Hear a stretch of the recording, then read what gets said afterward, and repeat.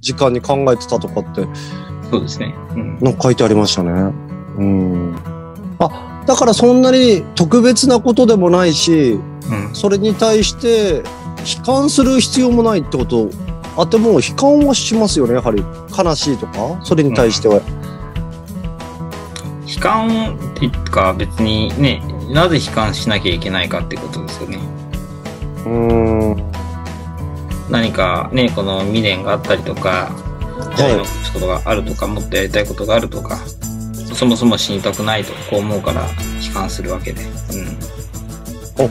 なるほどですね。未練が、あ、なければもうそのまま、まあ、うん。そんなに悲観にくれる必要もないのですか？そうですね。うん。やり遂げて、何かね、や自分がやややろう、やらなきゃいけないと思ってることをやり遂げてたりとか、自分の今のね、このあり方や生き方に満足してれば、うん。はい。そんな悲観することじゃないかもしれませんよね。うーん。そう思うと、だったらあんまりそんなに死とかっていうのも、まあそこまで、なんていうんですか？真摯に向き合う、まあ真摯に向き合う必要はあるんですかね。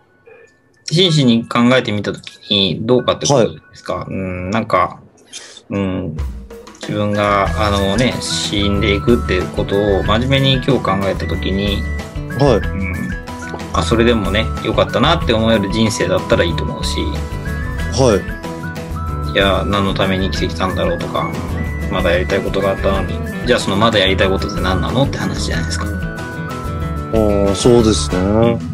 うん。だから今晩死ぬってなっても、でもいい人生だったなとかね。うん。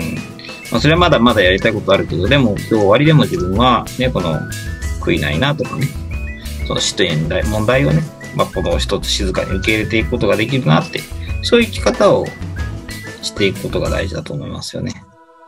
うん。死ぬ時どうなんだろうかとか、死んだらとかって言っても、そのいつ来るか分かんないことなんで、うんうん。確かに考えても、なんか無駄に終わるような気もしないでもないんですよね。これに対しては。今日死ぬとしても、今はい自分はどうだろうかと。うんなるほどですだから、ことじゃない。あれですか、仏教でいうあの、日々精進？そうですね。まあ、日々これ口実とかね。はい。日あり日これ口日とかね。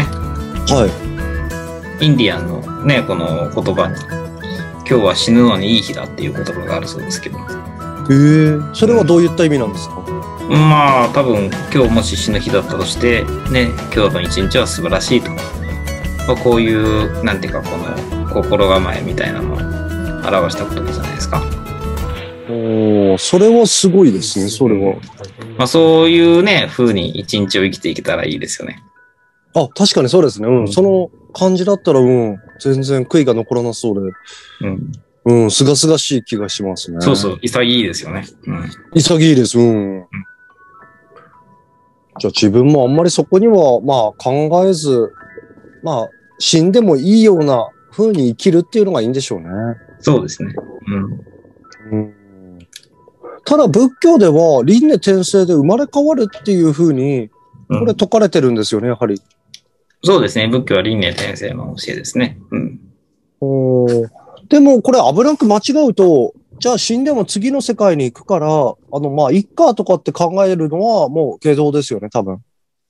だから、この世のね、えー、いろいろ苦しいことを、まあ投げ出して、はうん、死ねばこの世のいろんな苦しみや様々なこの罪とかを逃れることができると。死んだら苦しみは何もかも帳消しだっていうのは、仏教の輪廻転生の教えから言うと間違いで、はいい。はい。あの、根性ね、その投げ出した宿題は、来世でもやんなきゃいけないんですよ、と。あ、そういうことなんですか？そういうことなんですよ。だからもう、ねライス。はうん学校も嫌だと、勉強嫌だと。途中で中退してやれと。ね。だったらもうね、試験も受けなくても済むと。宿題もね、やんなくて済むと。そうじゃないんだよと。ね。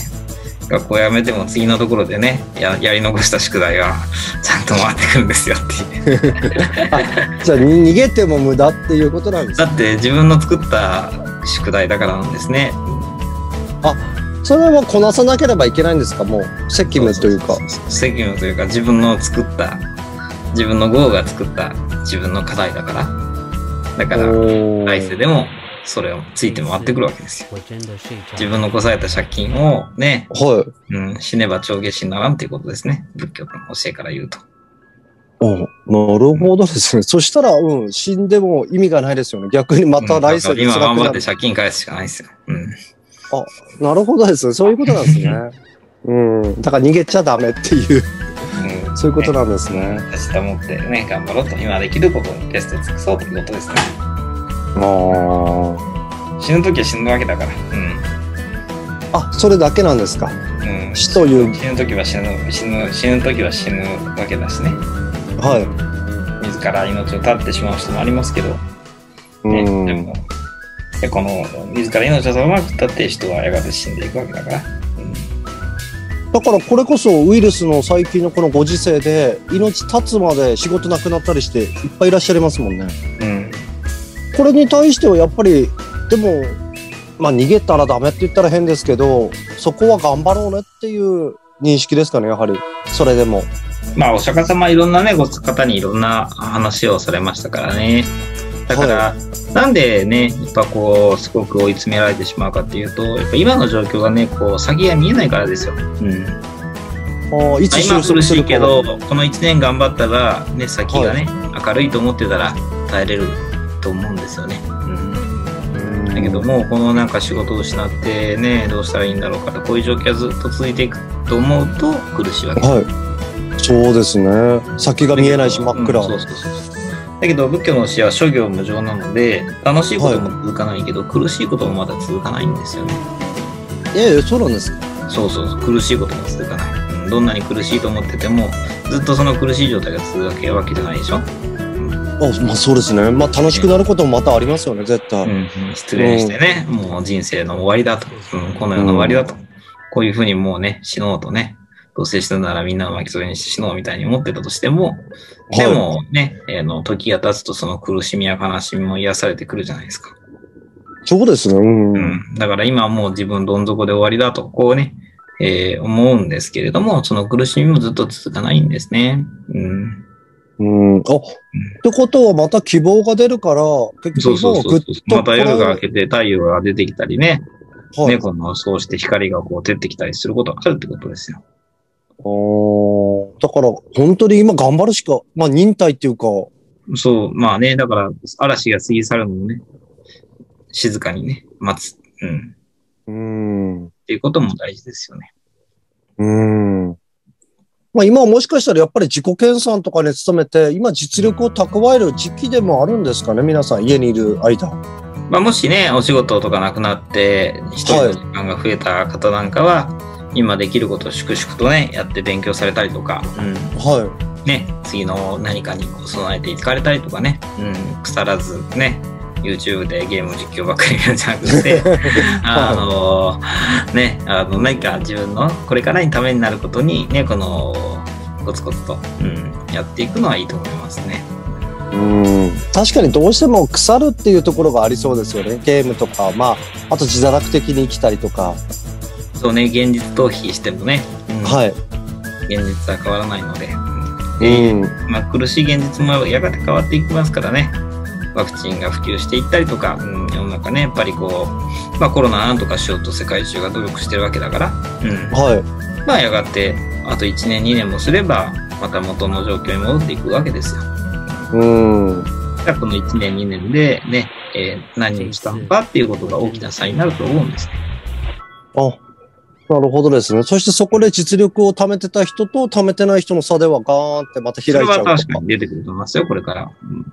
そうですよね。結構長いスパンですもんね、もうんう。うん。なるほどですね。そう考えると本当に諸女無常だから、まあ、あ開けない闇はないっていうか。そうそうそうそうです。うん。自分ももしかしたら光はあるんでしょうね、これから先。えー、藤井さん闇なんですか？まあ自分も、もうどうなんでしょう。自分も落ちてるのかもしれないですけど。うん。え、楽しそうなんで、なんかね、なんか、おルンルン楽しそうですよ。そんなに楽しくもないですよ。YouTube も1000人超えたそうでね。お、ありがとうございます。1500人そうなんですよね。1430人か80人。すごいですじゃないですか。うん。いつから始めるさまですよね。3年前ぐらいですか？ああ、ほんとね。